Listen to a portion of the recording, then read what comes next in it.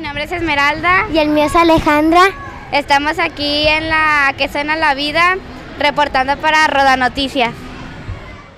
A mí me gustó esta exhibición porque tiene guitarras y porque nos enseña a tocarla. A mí me gustó por el tono de la por el, el- por el tono y cómo suena la música. Bueno, esto fue todo. Mi nombre es Esmeralda El mío es Alejandra. y estamos aquí reportando para Roda Noticias. Noticias. Adiós.